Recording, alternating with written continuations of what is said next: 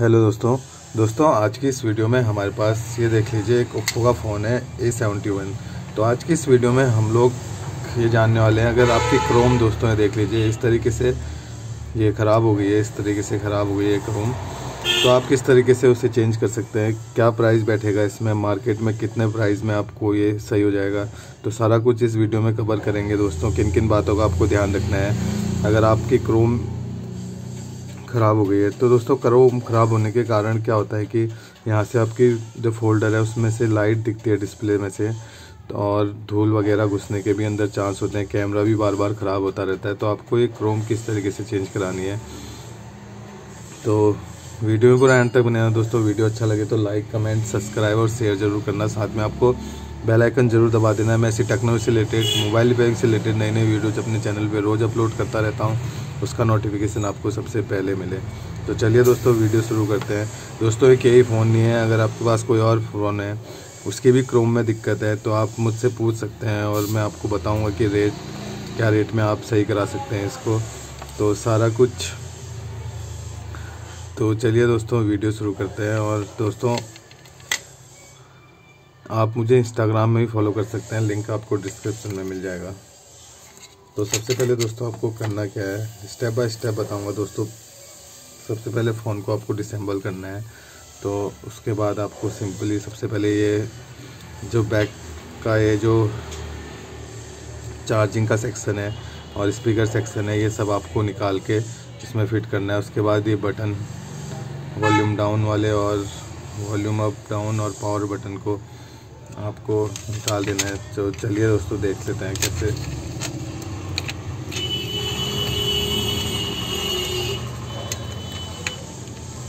दोस्तों, वीडियो थोड़ा सा लंबा रहेगा, लेकिन आपके काफ़ी नॉलेजेबल वीडियो जो है तो इसकी बिल्कुल भी मत करिएगा।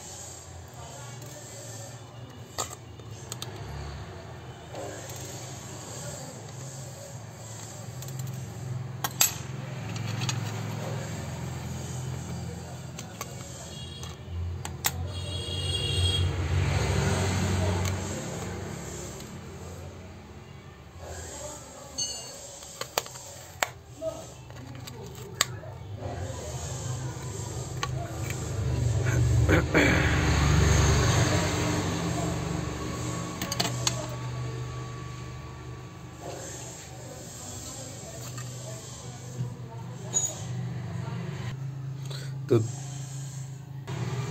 तो दोस्तों ये देख लीजिए, हमने ये सब निकाल दिया है। ये चार्जिंग का सेक्शन और जो volume down button up button और पावर बटन सब निकाल दिया है, देख लीजिए।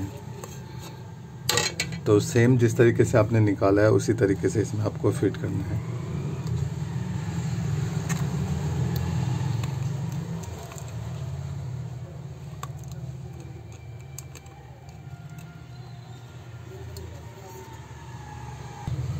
तो दोस्तों, उसके बाद आपको देख लीजिए, ये बटन यहाँ लगाने हैं आपको इस तरीके से।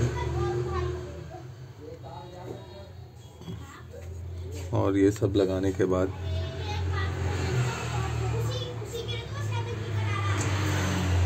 आपको सीधे फोल्डर लगा देना है। एक बार मदरबोर्ड लगा के भी चेक कर लेना है कि एकदम फिटिंग सही आ रही है, वरना आपको ये देख लीजिए, एकदम फिट है।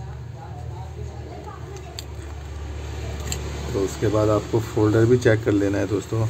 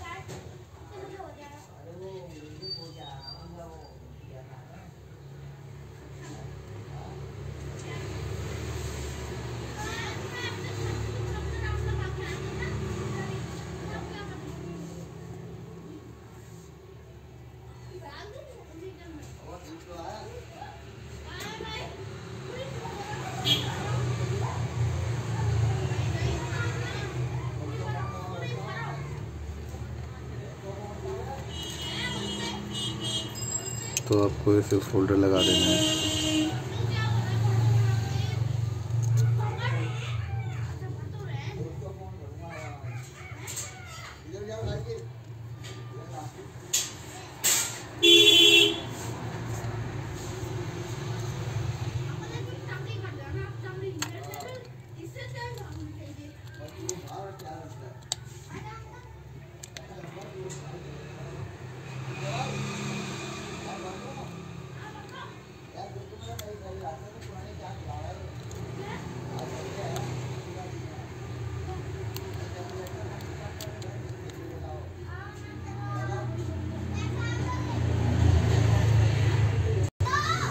तो दोस्तों आपको ये सब फिट करने के बाद सिंपली बैटरी फिट करनी है।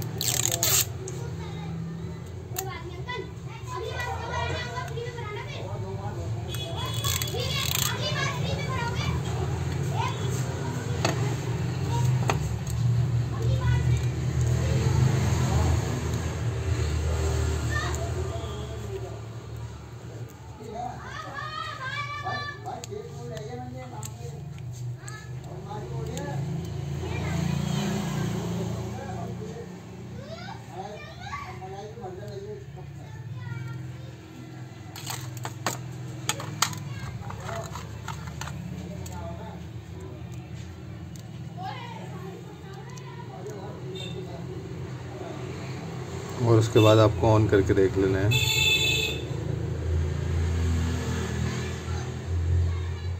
तो ये देख लीजिए ऑन हो गया है। और उसके बाद टच चेक कर लेनी है दोस्तों, और उसके बाद इसका बैक पैनल लगा देना है आपको, इसको थोड़ा साफ़ करके। तो आज की वीडियो में बस इतना ही दोस्तों। वीडियो अच्छा लगे तो लाइक कमेंट सब्सक्राइब और शेयर ज़रूर करना। और वीडियो से रिलेटेड कोई भी आपके मन में सवाल हो या फिर कुछ और पूछना हो तो कमेंट सेक्शन में कमेंट करना। इस तरीके से आप क्रोम को चेंज कर सकते हैं दोस्तों स्टेप बाय स्टेप तो धन्यवाद।